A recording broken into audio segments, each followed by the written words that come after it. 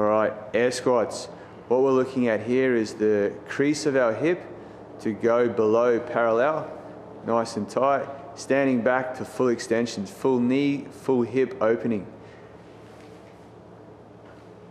Bad reps would be not getting range, so too high up, and not opening hip or locking knees out. All right.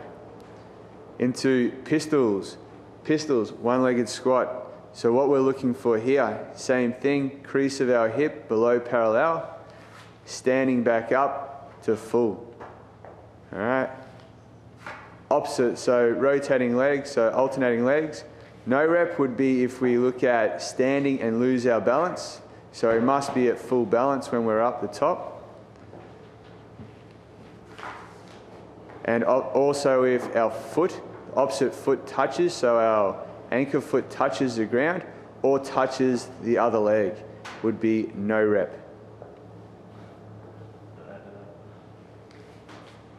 That's it. All right. Sandbag lunges.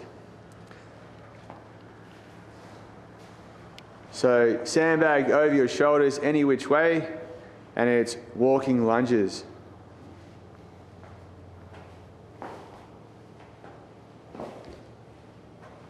You can do a pause or you can just walk straight through. Entirely up to you.